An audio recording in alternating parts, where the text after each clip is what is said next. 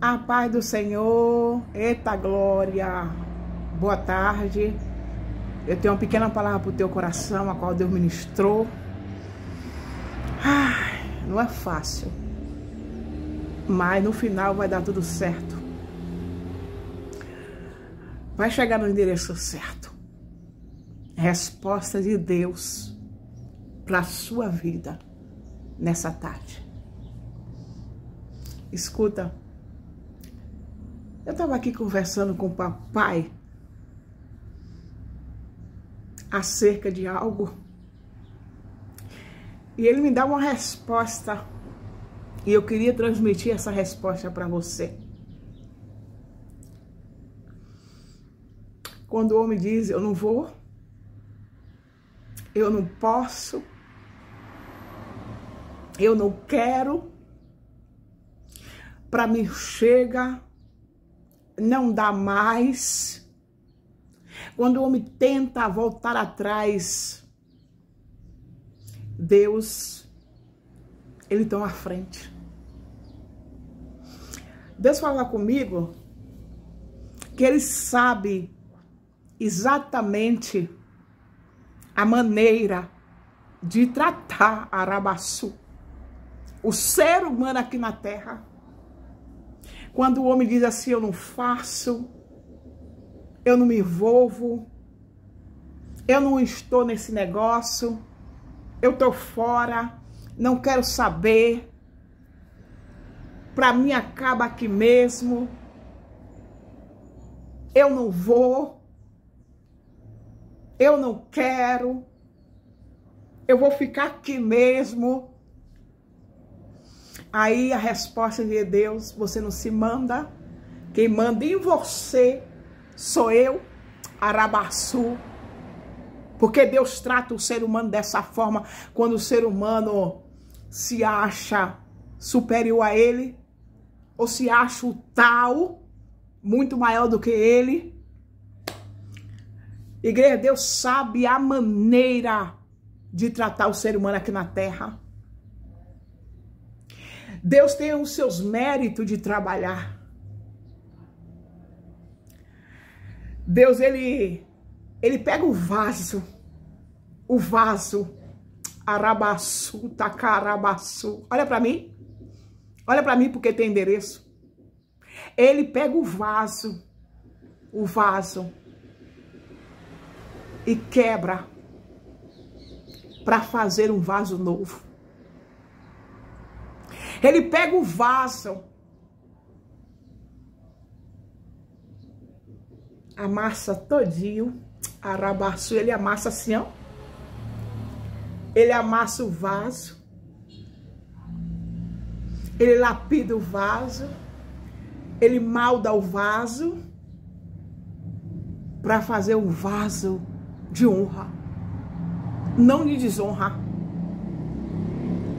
Sabe o que, é que Deus está falando para mim aqui? Dizendo, filha, tem muitas pessoas aí no Agravando a Todos que têm me desonrado, que não têm obedecido a minha voz, que é desobediente, que não aceita aquilo que eu decretei, que não aceita aquilo que eu disse que iria fazer. Aí Deus está dizendo: o homem não quer, mas é eu que quero. O homem não quer, mas sou eu que quero, assim diz Arabari, mas sou eu que quero, assim diz o Senhor. E quando o homem não quer, Deus quebra o homem, seja homem ou seja mulher. Deus quebra quando o homem desobedece às ordenanças de papai. Não adianta. Porque quem manda em você é Deus. Você é imagem e semelhança de Deus. Você é instrumento de Deus. Você é servo. Você é serva. Quando nós aceitamos Jesus, nós não se manda mais, é Deus que manda em mim você. E quando a gente abre a boca para desafiar Deus, quando aí você abre a boca para dizer eu não acredito que Deus vai fazer isso. Aí que Deus prova o teu coração e faz. Porque Deus não precisa de intermediário.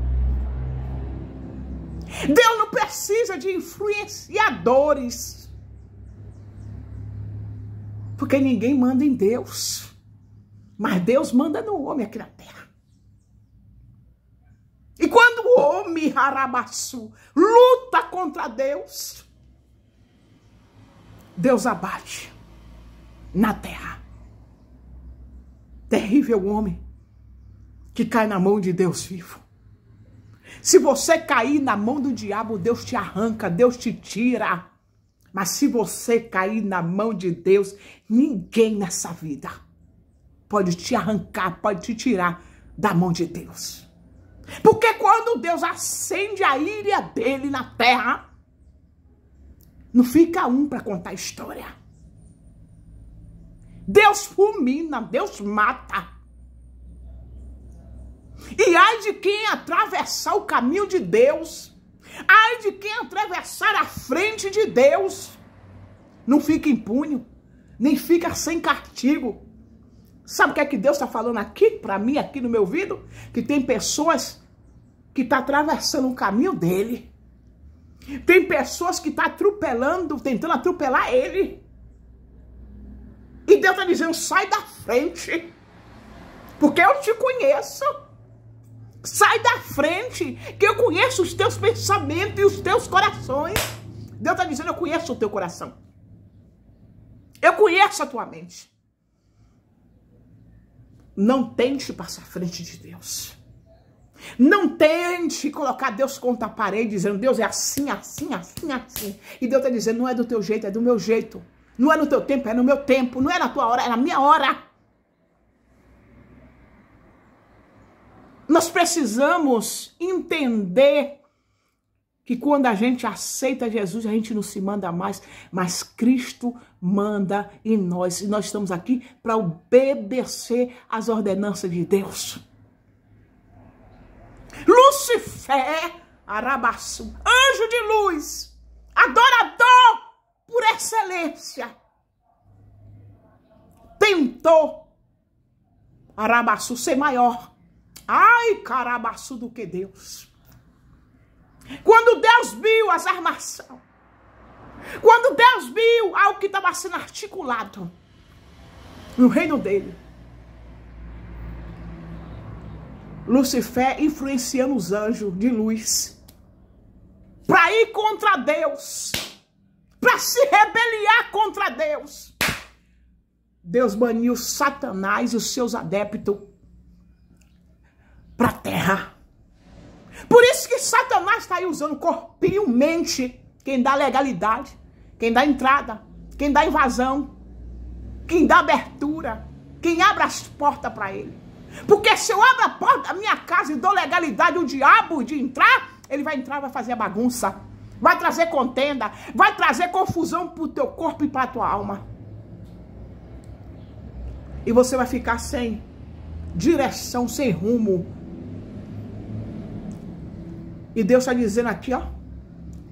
Fica na posição que você se encontra.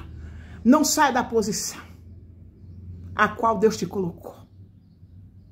Por conta de levante aí dentro da tua casa, por conta de levante aí no teu trabalho, por conta de levante aí na tua empresa, por conta de levante aí no teu bairro, por conta de levante aí na tua igreja, por conta de alguém que te olhou de cara por conta de alguém que atravessou o olho para você, por conta de alguém que catucou uma outra. Por conta de alguém que está soprando teu nome. Deus está dizendo, fica na posição. Mantenha a sua postura como mulher de Deus e como amo de Deus. Porque tua bênção está à porta e o diabo está se manifestando.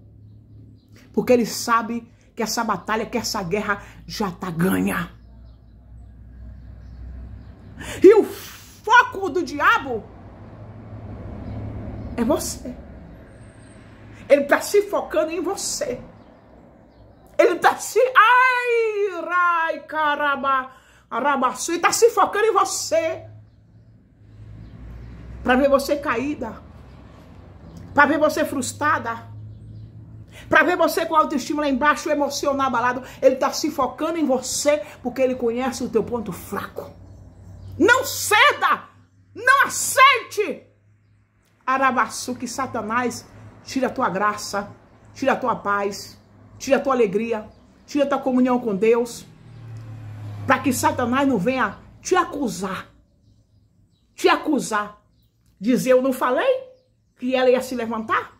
Eu não falei que ela ia se escarnecer, porque tudo que o diabo quer é que você se escarneça, que você grite, que você bate de frente, é tudo que Satanás quer. E Deus está dizendo: seja livre. Seja livre. Seja livre. Porque você é propriedade exclusivamente de Deus. Seja livre. Deus está dizendo: seja livre. Mas mantenha a sua postura. Como homem de Deus e como mulher de Deus, porque é tudo que o diabo quer. Que você perca o foco, que você perca a direção, que você saia da rota e que você perca a benção, a qual Deus preparou para você. Foi para você que Deus preparou. E o diabo vai fazer de tudo para arrancar da tua mão. Para tirar de você aquilo que Deus te deu, foi Deus que te deu, não foi o homem. Foi Deus que te escolheu. E o diabo vai fazer de tudo para arrancar, para tirar e até mesmo para tirar você de alcançar, de receber a benção que Deus decretou para tua história. Porque ninguém viveu a tua história. Tem pessoas aí que tá julgando o teu momento. Momento de escassez, momento de luta, momento de tribulação, momento de afronta, momento de levante. E tem pessoas aí que tá, até acusa. Diz que. É, porque não entende o chamado, o mistério, a promessa, o propósito, o processo. Aí julga. Deus abandonou. Deus a rejeitou. Deus deixou só nesse processo.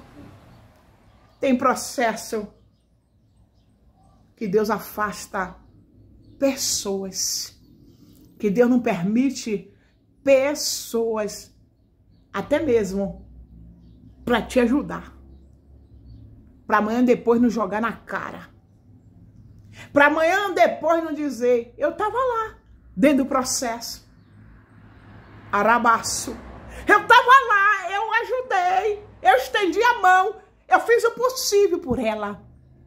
Por isso que Deus não derrama a glória dele com ninguém. E nem divide a glória dele com ninguém. Não é todo mundo que Deus derrama, Arabaçu, o Espírito Santo dele, não. Tem pessoas que se foram, mas não foi batizado com o Espírito Santo. Não recebeu a graça.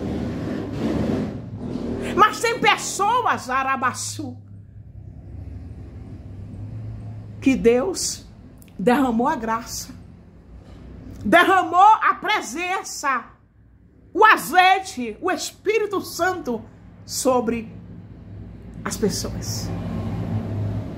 Mas tem alguém, tem pessoas que não receberam essa graça, que você recebeu, que é o batismo do Espírito Santo, que é o som dobrado do Espírito Santo. E ninguém entende os mistérios de Deus na minha e na sua vida. Tem pessoas que perguntam da onde que achou tanta força assim? Tem pessoas que vê a gente na guerra, na batalha e dizem, não entende. Por que que não entrou em uma depressão? Por que que não jogou tudo pro alto? Porque é o próprio Deus segurando em tuas mãos. O próprio Deus te dando força, coragem, determinação. Tem pessoas aí de camarote, querendo ver a tua queda, querendo ver a tua falência, querendo ver o teu fracasso, o teu sepultamento, o teu velório, o luto de na tua casa. Só que esse gostinho, Deus não vai dar. Esse sabor de mel não vai ter.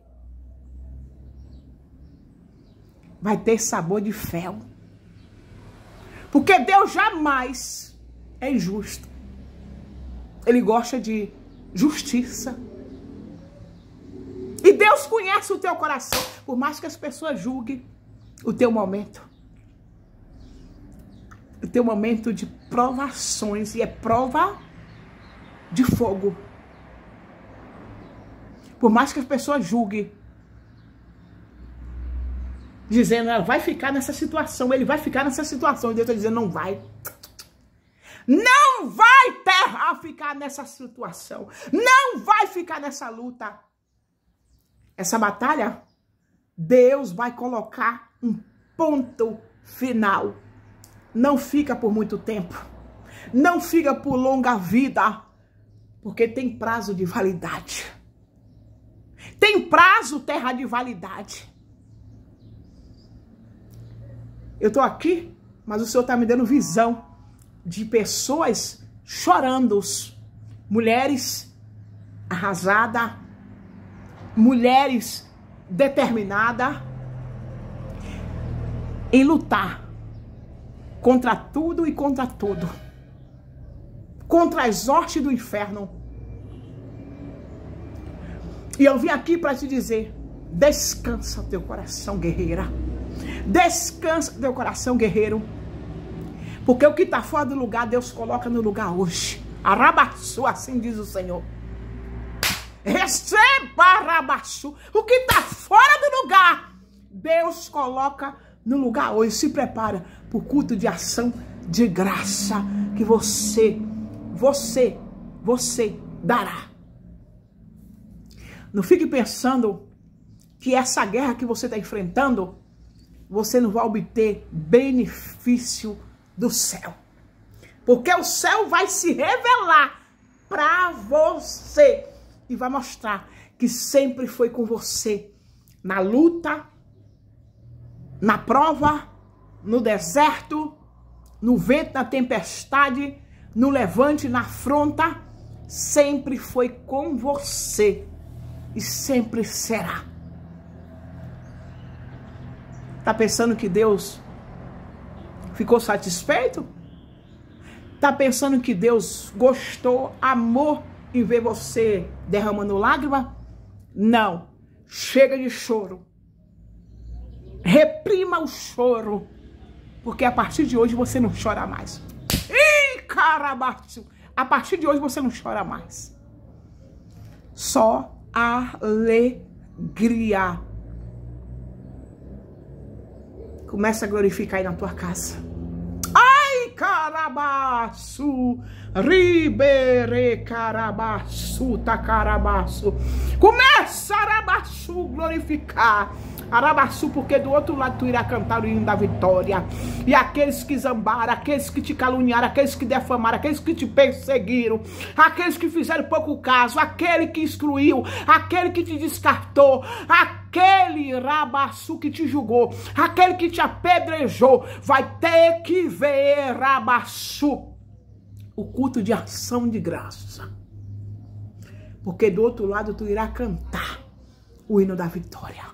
E tu dirá: Santo, Santo, Santo é o Senhor dos exércitos.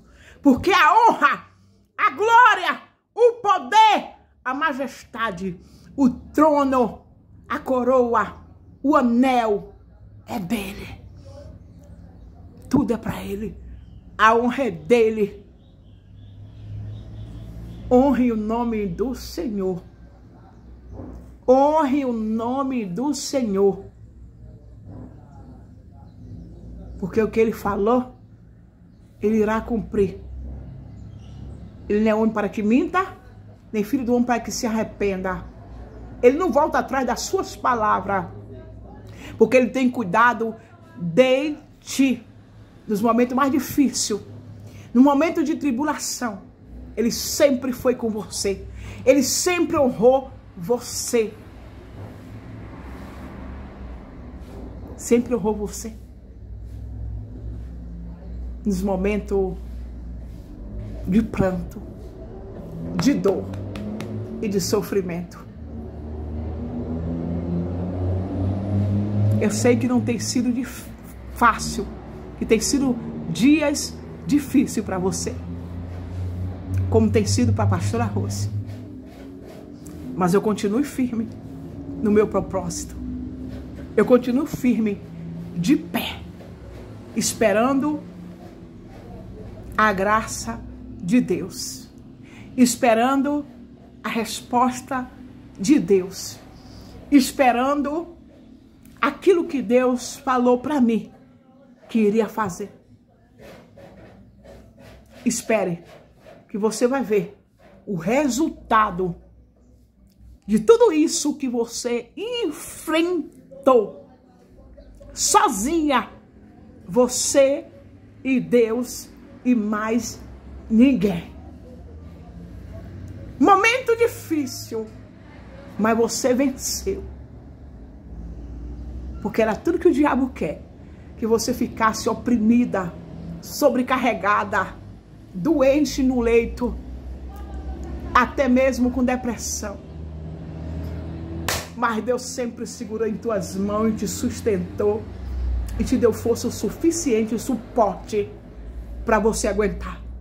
Quando você dizia, Senhor, eu não aguento, eu não tenho força, o Senhor derramava unção, a graça, a ousadia, a autoridade, o domínio, o controle, o de repente, o já, a unção, arabaço sobre a tua cabeça.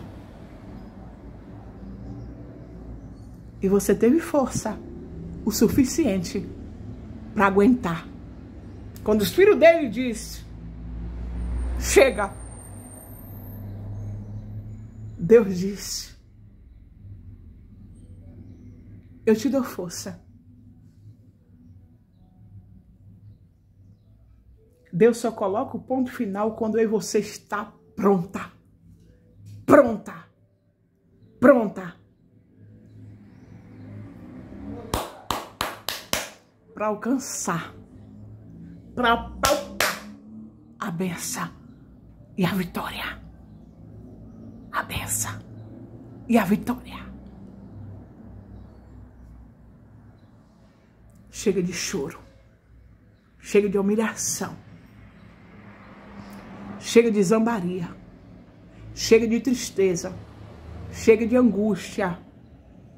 Chega de dúvida Chega. Acabou. Acabou. Chega. Espera só a reviravolta que papai irá fazer. Deus vai surpreender quem desacreditou em você. Tome posse dessa palavra. Curta comenta e compartilhe, porque eu sei que vai chegar no endereço certo e na pessoa certa. Chega, olha para cá, chega de choro. Agora, só alegria. Entendeu o mistério? Chega de choro. Agora é só alegria.